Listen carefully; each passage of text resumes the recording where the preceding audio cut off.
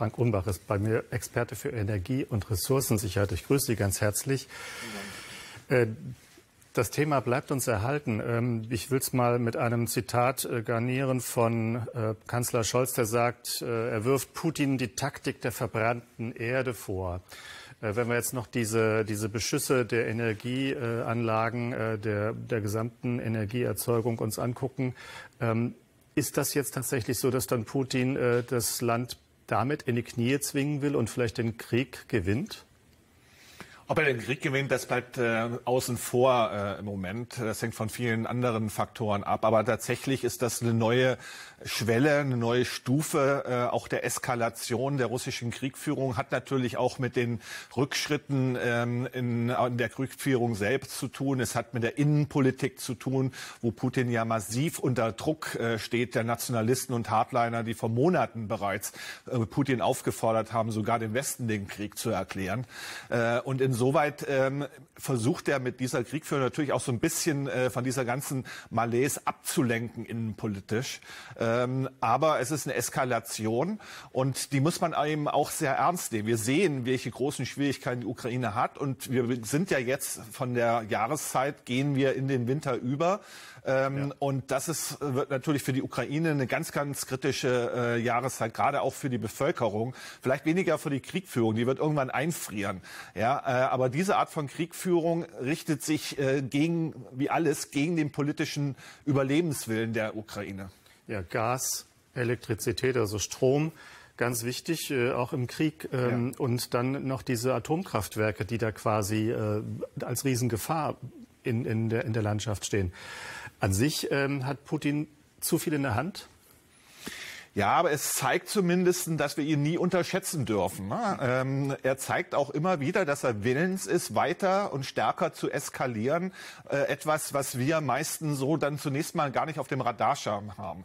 Aber diese Art von Kriegführung ist nicht wirklich neu. Wir haben sie am Anfang des Krieges auch erlebt. Das war aber nur gegen vereinzelte Ziele.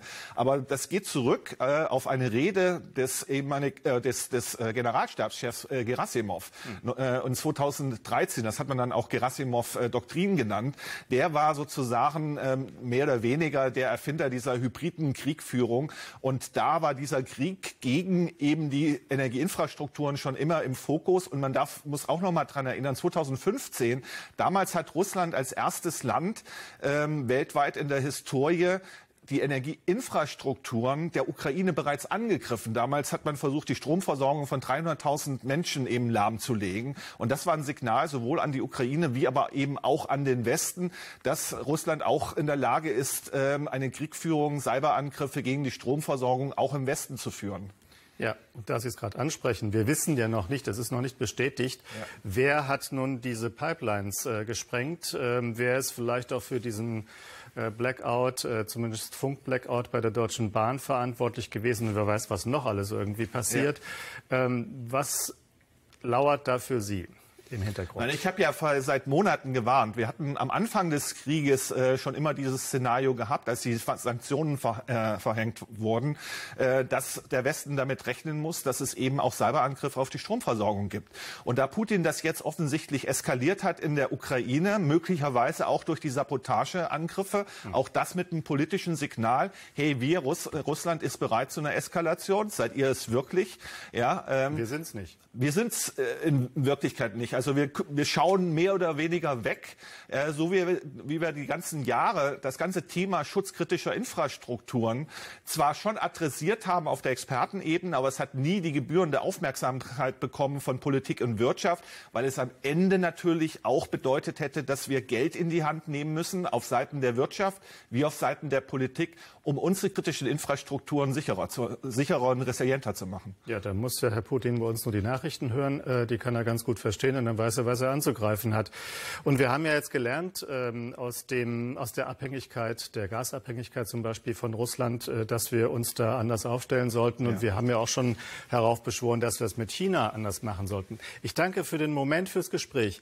Wir reden gleich weiter. Das Thema wird nämlich noch etwas verrückter. Die Chinesen wollen nämlich mal wieder in Deutschland einkaufen.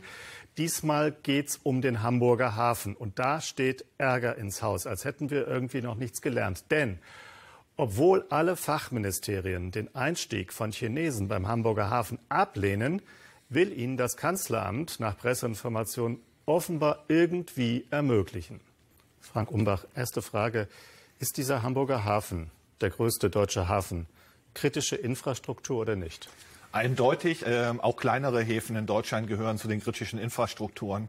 Äh, und es macht mich besorgt, dass äh, hier lokale wirtschaftliche Interessen über die gesamtstrategischen Interessen Deutschlands, aber auch Europas gestellt werden. Wir müssen sehen, dass China schon 14 ähm, Häfen in Europa kontrolliert. Das begann mit Piräus und das war hm. Teil dieser Seitenstraßenkonzeption. Und dahinter steht eben auch eine Politik äh, der Kontrolle, der strategischen Kontrolle von den wichtigsten Hightech-Technologie-Lieferketten und Wertschöpfungsketten. Lieferketten. Und dazu gehören am Ende auch die strategischen Häfen in Europa. Nun ist ja nicht so, dass nicht äh, manche Leute schon vorher gewarnt hätten. Zum Beispiel die Sicherheitsdienste äh, Deutschlands haben gesagt, Achtung, wenn äh, China hier loslegt und wieder was kaufen will, das sollten wir verhindern. Ähm, das wird geflissentlich überhört oder äh, sind wir noch nicht bewusst genug dran?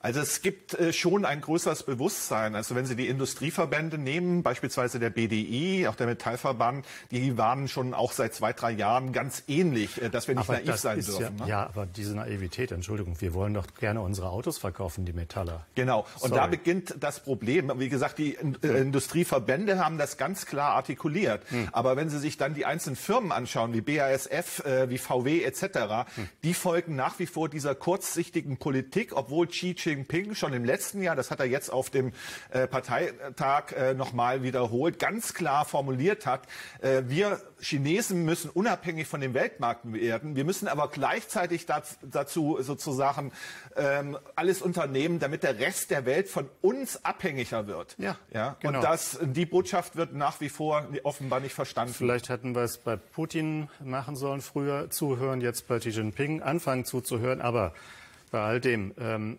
was tut der Bundeskanzler da? Ich fürchte, dass er möglicherweise, möglicherweise in einem Wort steht, äh, dass er möglicherweise China oder Costco bereits noch als Bürgermeister gegeben hat und fühlt sich da vielleicht auch persönlich verpflichtet und will vielleicht auch seiner Stadt äh, helfen. Aber am Ende stellt er damit lokale ökonomische Interessen über die gesamten strategischen, auch langfristigen geopolitischen Interessen Deutschlands und Europas. Und das geht überhaupt nicht. Kurz noch das gibt Probleme oder Es wird auch Probleme in der Ampelkoalition gehen. Das Außenbild auch auf die Regierung ist da natürlich katastrophal hm. und spielt in dem Fall natürlich China auch in die Hände. Frank Umbach, ich danke Ihnen ganz herzlich. Bitte schön.